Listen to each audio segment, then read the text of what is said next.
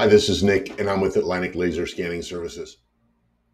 Today we're going to continue our tutorial on collecting survey data with drone LiDAR units. In this video, Seth Berry from Global Hawk Maps is just finishing his data collection flight and is going to show us how to properly go into the app, shut down our data collection on the Hesai XT32 RESEPI unit prior to physically shutting the unit down and then disassembling it from the actual drone. You can do this. Now that it's finished, it did its figure eights. It was starting to return to home. I paused it, went to my next mission, finished that mission so you can open up a new one. I hit play on my new mission, which was the mission plan that I planned in the first place. Once it went over, it started flying its mission. When it's done, we'll land and take a look at the data. After we stop our base station, we after we turn everything off and go through those steps, which we'll discuss in a second.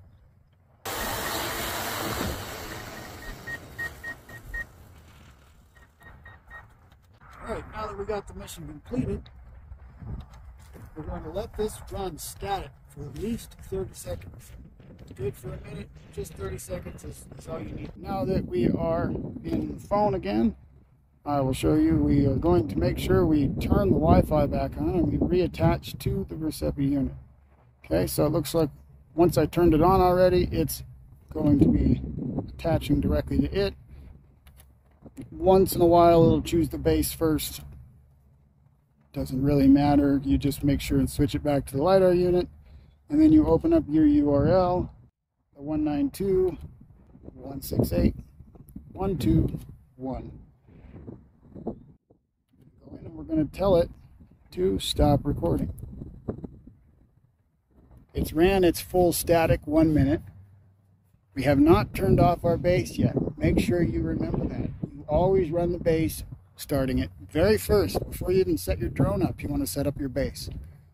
The last thing you do, the very last thing you do, even after you put the drone away, everything, then turn off your base.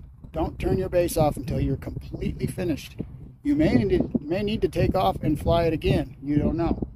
So the very last thing you do, if, for example, you've landed and finished your mission and you realize, oh, golly gee, I forgot to put the USB stick in. Now I got to fly it again. You didn't turn your base off. You haven't shut that down. It's collecting static data, so it's in good shape. Just make sure you do that last. Now that we've got it stopped, it shows start, which means that it is not running.